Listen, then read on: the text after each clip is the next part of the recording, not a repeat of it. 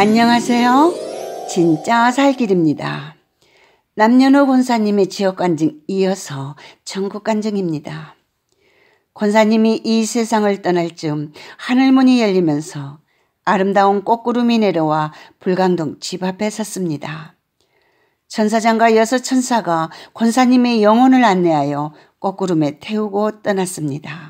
그리고 지옥에서 고통받고 있는 평소에 잘 알고 있었던 목사님, 권사님, 집사님, 그리고 친구들을 보았습니다. 오랜 시간이 흐른 후 꽃구름은 육중하고 거룩한 한 대리석문 앞에 도착했습니다.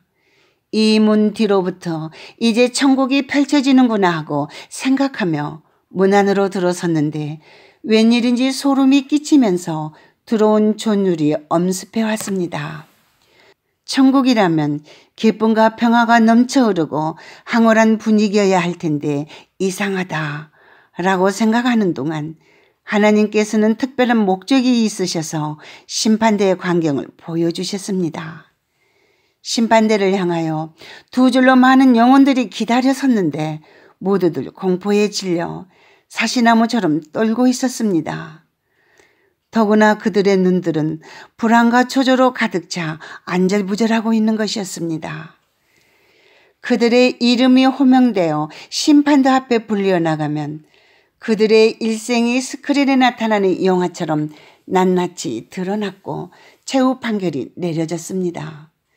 차라리 지옥의 유황불에서 고통을 당하는 것이 더 나을 정도로 심판대 앞에서 차례를 기다리며 공포에 떨고 있는 그들의 모습은 너무나도 처참했습니다. 이곳에서도 아는 영혼들을 보았고 그들은 한사코 권사님에게 애원하며 예수님에게 잘 말씀드려 달라고 부탁했습니다. 그러나 이미 성별된 처지라 호의를 베풀 수 있도록 허락되지 않았습니다. 이곳에서 더 큰 충격을 받은 권사님은 천국으로 향하는 기쁨도 잊어버리고 줄곧 울었습니다.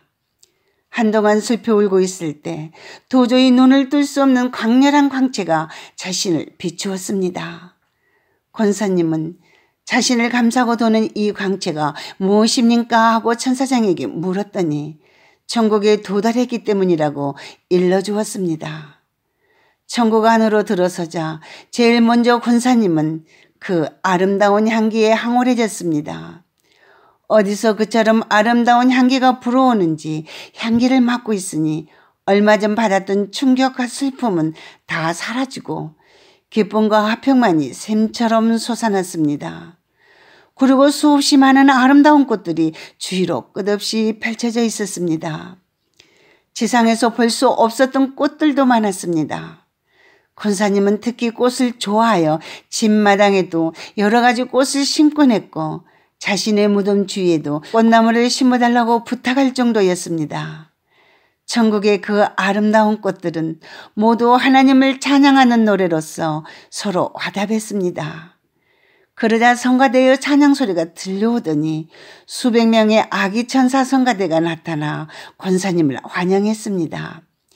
그 아름다운 찬송 소리에 권사님은 완전히 매혹당했습니다. 천국에서는 아름다운 찬송 소리가 어디에서든 항상 들려왔습니다. 천사장이 제일 먼저 앞장서고 그대로 아기 천사 성가대 그리고 권사님 끝으로 여섯 천사가 계속 천국 안으로 들어갔습니다. 그런데 놀라운 것은 모든 일행이 약 1미터가량 공중에 붕 떠서 가고 있었습니다. 권사님은 발걸음을 열심히 돌렸으나 그와는 아무 상관없이 공중에 떠서 가는 자신이 너무나도 신기했습니다. 한동안 천국 안으로 들어간 후 천사장을 제외하고 모두 사라졌습니다. 천사장은 먼 앞을 가리키며 신랑 대신 예수님께서 신부 대신 권사님을 맡기 위해 기다리고 계신다고 일러주었습니다. 권사님은 그처럼 평생 동안 사모해왔고 온갖 핍박과 조롱을 받으면서도 그 한 분만을 위해서 선한 싸움을 싸워온 예수님을 드디어 만나게 된다니 너무나 감격스러워 그 자리에 얼어붙었습니다. 멀리 빛나는 흰 옷을 입고 광채를 바라며 우뚝 서 있는 예수님이 두 팔을 벌리고 서 계셨습니다. 권사님은 감히 예수님의 얼굴을 바라보지 못하고 그 앞으로 당당히 나아갈 수도 없어 얼굴을 묻은 채 기어서 다가갔습니다. 감격의 눈물을 흘리며 한동안 기어가서 예수님의 발 앞에 엎드렸습니다. 그러자 사랑하는 딸 남녀노 군사야 라고 부르는 예수님의 음성이 들렸습니다. 그러나 감히 얼굴을 둘 수가 없어 그대로 엎드려 있었습니다. 사랑하는 딸 남녀노 군사야 하고 부르는 예수님의 음성이 또다시 들렸습니다. 그래도 용기가 나지 않았습니다. 이때 마음속에서 이 바보야 일생 동안 이 한순간을 위해서 살아왔지 않느냐. 다음에 한 번 더 부르시거든 용기를 가지고 얼른 일어나 품에 안기도록 해라 하는 생각이 떠올랐습니다. 세 번째로 부르는 예수님의 음성이 들렸습니다. 순간 권사님은 주여 내가 여기 있나이다 하며 벌떡 일어났습니다. 그리고 예수님의 눈을 바라보았습니다. 그러나 예수님의 눈과 자신의 눈이 마주치는 순간 권사님은 오 주여 저는 죄인이로소이다 하며 자신의 몸을 두 팔로 감싸면서 쓰러지고 말았습니다. 자비하고 인자하고 사랑이 넘치며 부드러우리라고 상상했던 예수님의 얼굴은 오히려 엄하였고 불꽃 같은 광채가 꿰뚫어 보자 자신의 더러운 죄가 유리알처럼 낱낱이 드러났기 때문에 그 죄를 조금이라도 가려보려고 두 팔로 몸을 감싸면서 쓰러졌던 것입니다. 권사님은 두렵고 떨리는 마음으로 오주여 저 같은 죄인이 감히 천국에 올 수 있다고 생각한 것이 잘못입니다. 이 죄인을 용서하여 주십시오 하고 울부짖으면서 가슴을 치며 그렇게 했습니다. 한동안 회개의 눈물을 뿌리고 있을 때 사랑하는 딸 남녀노 권사야 하는 주님의 음성이 다시 세 번째 들려왔습니다. 권사님은 주여 여기 죄인이 있나이다 하며 간신히 일어나 예수님을 바라보았습니다. 그런데 이번에는 예수님의 얼굴이 사랑과 인자하심과 자비로 넘쳐 흐르시고 부드러운 미소를 만면에 짓고 계신 것이었습니다. 그리고는 두 팔을 벌리고서 권사님을 안아주었습니다. 주님의 그 품이 어찌나 포근하고 따사롭고 아름다운지 권사님은 있는 힘을 다해 주님을 끌어안았습니다. 예수님은 권사님의 등을 쓰다듬어 주시면서 사랑하는 딸 남녀노 권사야. 그가 얼마나 고생이 많았느냐 하시는 것이었습니다. 권사님은 너무나도 감격하여 그만 목 놓아 울고 말았습니다. 한동안 그렇게 예수님의 품에 안겨 있을 때 다른 한 방문자가 찾아왔습니다. 그는 권사님의 시아버지이신 김장로님이었습니다. 김장로님은 두 팔을 벌리고 큰아이를 반기었습니다. 김장로님은 별명이 예수 할아버지였을 만큼 덕실한 크리스천이었습니다. 그는 대구에서 교회를 개척하였고 나은자촌에서 평생을 사셨습니다. 자신의 먹을 것 입을 것을 모두 나은자촌에 가져다 주고 평생 단벌 신사로 지내면서 예수님의 사랑과 희생을 몸소 실천한 분이었습니다. 김장로님은 천국에서 높이 평가받는 분이었습니다. 바로 그가 두 팔을 벌리고 내 사랑하는 큰아가야 내 사랑하는 며느리야 어서 내 품에 오거라 하시는 것이었습니다. 권사님은 너무나 반가워 시아버지의 품에 안겨 얼싸안고 볼을 비비며 기뻐하였습니다. 권사님은 시아버지가 돌아가신 후 몇 달 동안은 줄곧 울었을 정도로 그리워했기 때문에 천국에서의 재해는 너무나도 벅차고 감격적인 것이었습니다. 김장로님은 나는 내가 올 줄 알고 길을 예비하고 있었다. 라고 말하며 그동안의 많은 이야기들을 나누었습니다. 이처럼 반갑게 정을 나누고 있을 때 천사장이 찾아와 남녀노 권사 이러고 있을 때가 아닙니다. 예수님께서 다시 부르십니다. 하는 것이었습니다. 정신을 차린 권사님이 천사장의 안내를 받아 예수님 앞에 다시 정중하게 서자 예수님께서 심각하게 말씀하셨습니다. 남녀노곤사 똑똑히 들어라. 너는 지금 천국에 온 줄로 기뻐하고 있지만 내 사명은 아직 끝나지 않았다. 너는 권사로서의 사명을 다하지 못했는데도 천국에 들어올 자격이 있다고 생각하느냐? 너는 사랑의 요정으로서 공적도 많이 쌓았고 전도상을 세 번이나 탈 만큼 전도의 왕으로 초항도 받았다. 그러나 너는 너의 가장 기본 사명인 내 육신의 친자식들을 구원하지 못하였으므로 내 공적은 천국에서 아무런 가치가 없다. 너의 십남매 중에 한 영혼도 진정한 크리스천을 만들지 못하고 내 어찌 사명을 다하였다고 천국에 들어올 수 있느냐. 어서 속히 세상에 가서 내 자식들과 권석들, 친척들을 구원하는 내 사명을 다하여라. 그리하면 너에게 천국에 들어올 수 있는 자격을 주어 너를 다시 부르겠다. 이 말씀을 들은 권사님은 주님 앞에 굴복하고 울음을 터뜨리며 진정 주님의 말씀이 옳습니다. 제 자식도 구하지 못하고 천국에 오겠다고 생각한 제가 잘못입니다.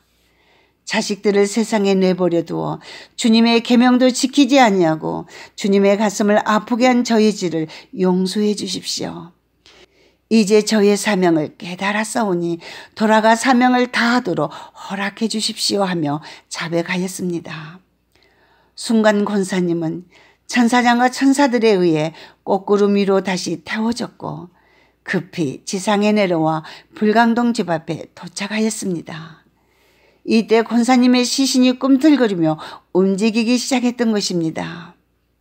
아름다운 천국에 잠시나만 머물다가 지상에 내려와 보니 인간 세상이 그렇게 추하고 더러워 보였습니다. 인간 세상이 그처럼 썩은 냄새가 풍기는 제약의 구렁텅이요. 우리 인간은 구석에 사는 벌레만 또 무담을 천국에 갔다 오고 권사님은 비로소 깨닫게 되었습니다. 죽었던 난곤사님이 살아 돌아와 이런 간증을 하는 동안 불광동 집에서는 큰 기적이 일어났습니다. 그곳에 모인 40여 명의 일가 친척들이 모두 깨지기 시작하면서 과연 하나님은 오늘도 살아계셔서 역사하시는 분이시며 늘 의심해왔던 천국과 지옥이 실제로 존재하고 또한 히브리서 9장 27절에서처럼 한 번 죽는 것은 사람에게 정해진 것이요. 그 후에는 심판이 있으리니라고 한 말씀을 확실히 믿게 되었습니다. 마가의 다락방에 놀라운 성령의 역사가 일어난 것처럼 불광동에도 놀라운 성령의 역사가 임했습니다. 마치 현대판 마가의 다락방 같았습니다. 특히 그곳에 모인 김씨 일가는 모두 최고의 교육을 받았고 더러는 미국 유학을 하여 박사학위를 땄으며 모두 부유했고 더러는 재벌이나 정부의 고관이었기 때문에 한결같이 교만했습니다.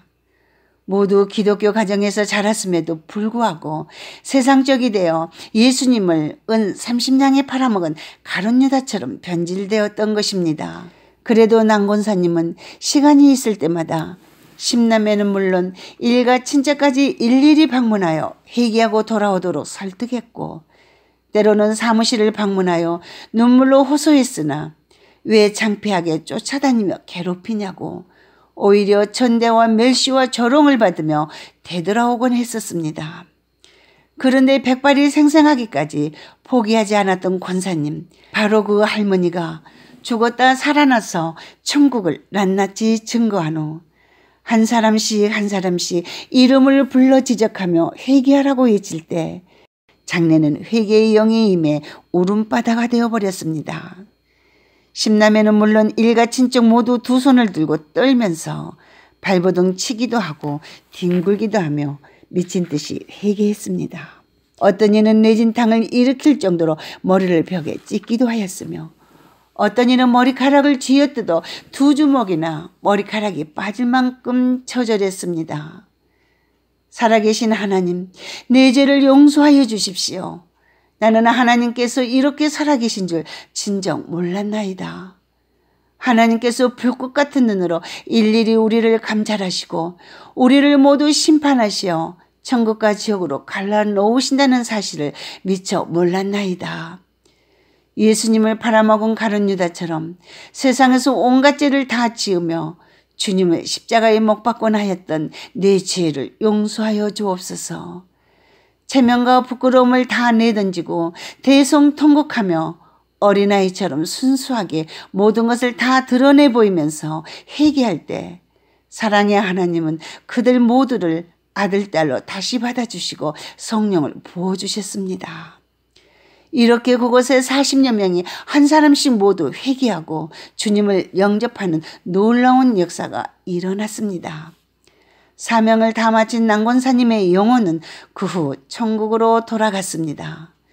주님의 사랑의 여종 권사님을 통하여 거짓 신도요, 가짜 신도요, 엉터리 신도요, 쭉정이 신도였던 십남매와 일가 친척들은 죄를 깨닫고 주님 앞에 바로 설 수 있는 은혜를 받았고 참 신자가 되었습니다. 그리고 천국과 지옥을 증거하는 증인이 되었고 권사님의 사랑과 전도의 은사를 이어받아 대를 이어 주님의 귀한 일꾼이 되었습니다. 또한 권사님이 11조를 바쳤던 막내 아들은 어머니의 천국 체험을 통하여 자신을 주님께 드리기로 소원하였고 능력 있는 목사가 되었습니다. 또 뉴욕에 살고 있는 김향자 집사님은 미국 전역 및 해외 간증 집회를 다니시며 천국 복음을 전했고 눈물 없이는 들을 수 없는 파워풀한 간증을 통해 수많은 영혼들이 회개하고 구원받는 역사가 일어났습니다. 여러분, 십남매는 다 믿는 자였지만 그들은 다 가짜 신자였습니다. 그러나 진정한 회개를 통하여서 그들은 진짜 신자가 된 것입니다. 여러분, 여러분 한 사람을 통해 여러분의 가정도 회개가 일어나 온전한 구원이 온 가족과 친지들에게 기적이 일어나기를 간절히 기도합니다. 지금까지 남녀의 군사님의 천국 간증이었습니다. 진짜 살길이었습니다.